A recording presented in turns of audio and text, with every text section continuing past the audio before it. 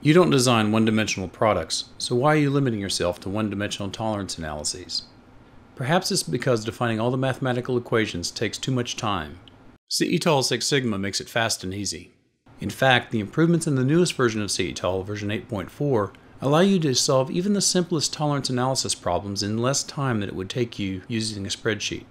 In this side-by-side -side comparison, you see two approaches to analyze the vertical alignment of the axes in the two bushings. On the left is CETOL Six Sigma, and on the right is the spreadsheet.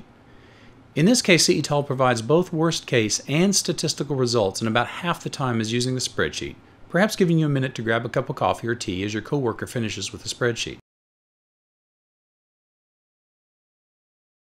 Examining the results, we quickly realize that they are not the same. Even though this appears to be a one-dimensional stack-up, it isn't. The visualization tools within CETOL help you understand why,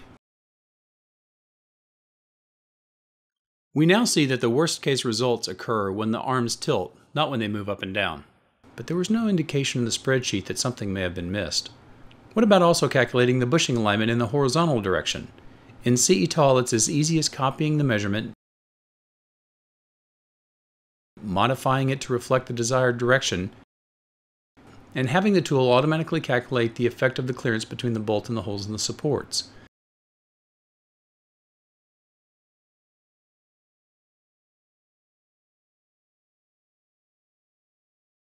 Using a spreadsheet takes a bit more effort for this one.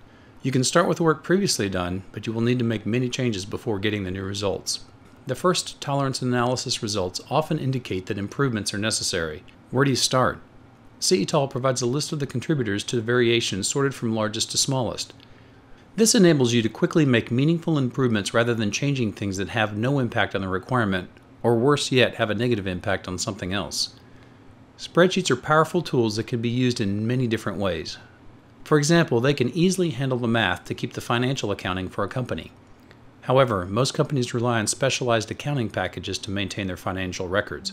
Why? Because companies don't need an accounting spreadsheet, they need an accounting solution.